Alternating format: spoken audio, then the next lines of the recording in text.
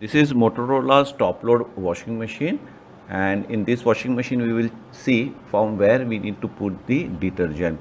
Normally uh, the detergent we need to put it from this side which uh, is you know front side um, but in this washing machine uh, we have some few changes and uh, the bleach or the liquid detergent or the softener or the detergent I will show you the location. So this is the location from where customer will need to put the detergent. So this flap we need to pull it pull and then put the detergent here one scoop or depending upon uh, the laundry you need to put the detergent and uh, close the flap.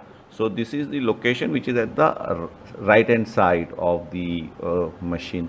And you can see the softener uh, symbol is there. So we have to put a softener here on this white ring. And uh, this side here this it is mentioned bleach and liquid detergent. So this is the place for the bleach and the liquid detergent. So uh, these are the three locations where you need to put the required quantity products